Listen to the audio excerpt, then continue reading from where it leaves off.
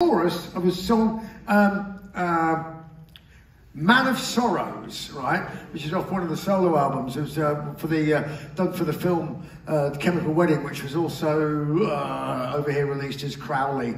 Um, so yes, um, so uh, let me think, see if I can go how it goes to a bit of uh, acap- bit of Acapulco singing. Yes, there we go. Yeah. Man of Sorrows,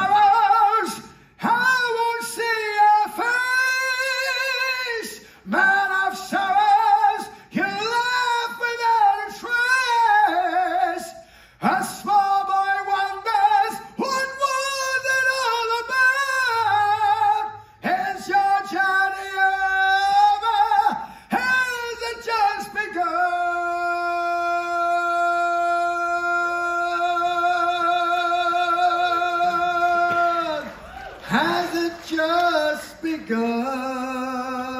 Thank you and good night, San Francisco.